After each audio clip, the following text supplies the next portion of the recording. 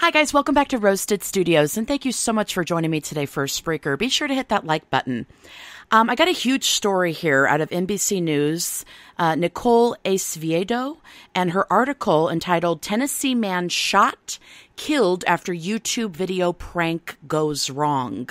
And before I read this to you guys, I just am hoping that this can become a conversation on YouTube just to warn other people in terms of what they consider to be an acceptable prank and how they may be putting their lives in jeopardy while making other people feel like they're trying to protect their lives. And we could just bypass all this by not doing these extremely harmful pranks, and I don't want this happening to anybody else. Now it says Timothy Wilks, 20 years of age, was killed after he approached a group of people with butcher knives as a part of a prank. He considered this to be a prank robbery, police said.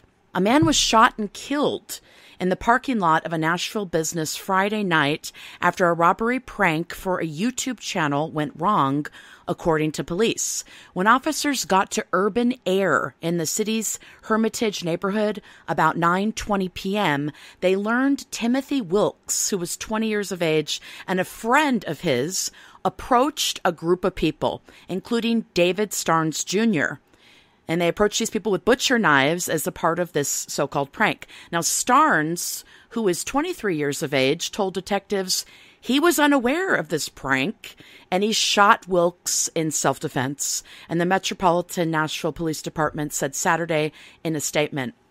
Starnes has not been charged in connection with the incident, which remains under investigation.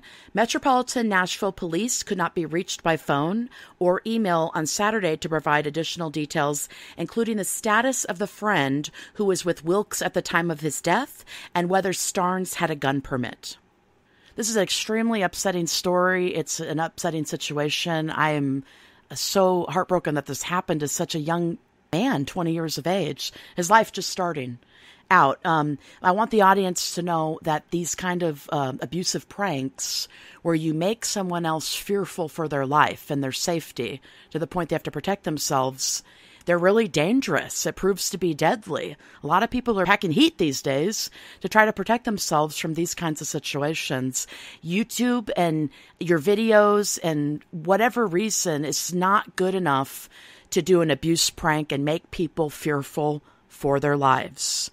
And once again, I hope this becomes a conversation online, on YouTube especially, so nobody does this again. And so a tragedy like this doesn't have to occur again. Thank you so much for listening. Be sure to hit the like button and be sure to leave a comment in the comments section about how you feel about this story. And if you were even aware of it, I just found out about it myself. Thank you so much. Take care. Roasted Studios out.